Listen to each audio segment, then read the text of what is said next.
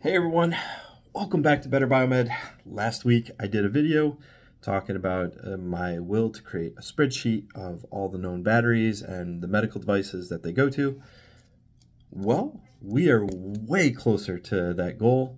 I have an actual product, a sheet I've been working all weekend and I've gotten so many data entries that I have hired people to help me organize the data into a spreadsheet. I had some people email me mass files of um, entries and I had to organize it and everything. But anyway, in the description below on this video, there is going to be a file that you can download and go ahead and check it out. So I have the manufacturer, I have the model of the equipment that it goes to, along with how many batteries are required. And, and some of them I have the type of battery that you're asking for. And then I've got the voltage and the amp hours, which are really the main tools. I don't have any part numbers because part numbers are very subjective, right? So what I want you guys to do is if you're looking for a battery for a Steris, Steris is the first column. You can organize it by that. The second column is 30, 80, 40, 80, 50, 80, whatever.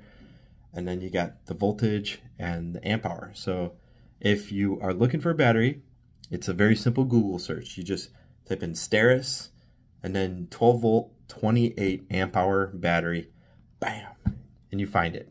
So if you're looking for an Alaris, it's Alaris, you know, uh, 8 volt, 2.4 amp hour battery or whatever it is, and hit enter in Google and you'll find your battery. It's that easy. The important part of the tool is the quantity required for that service. Like surgical tables often have two batteries inside them. That is where this tool is going to help you quote out things a little bit easier, a little bit quicker. And if anything, you might find some new sources for those batteries. Yes, we at Fobi, we do sell a lot of those batteries, but as I said in other videos, right now logistics are being a little complex with batteries, so there's lead time on many things, but I figured I'd throw this tool out there anyway to help you guys with your PMs to help find these batteries and order them ahead of time. That's the key. Order your batteries ahead of time so that you know you have them for PMs. Trust me, I have like 95 surgical tables to do a PM on soon, like in the next month or two. And batteries right now are getting very difficult to find and definitely not for 95 surgical tables. But Anyway, I've been working on quite a bit, guys, and um, I just wanted to share some of the stuff that I'm working on. That was the project. It went really well. I am not done. I'm still organizing data. People are still submitting via the form.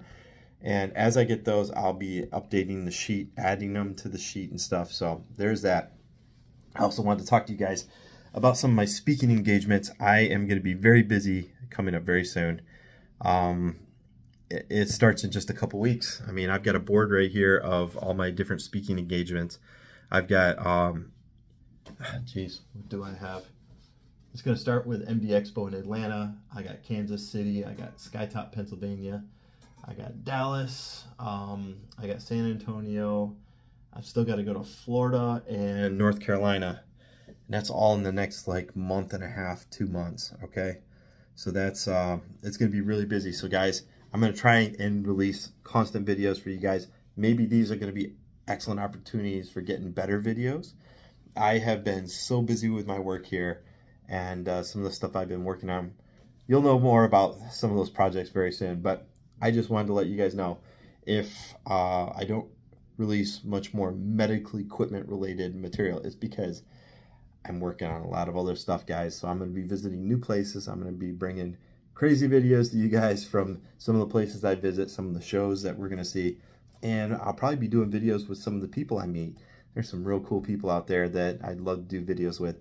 So anyway, that's what's going on in a nutshell. In the description below, I'm going to have the link for that file so you can download it and save it on your desktop. So if you have a medical device that's coming up for a PM, just look it up, find it, and uh, you can quote out your batteries probably way more accurately. Hope you enjoy. Thanks for watching, guys.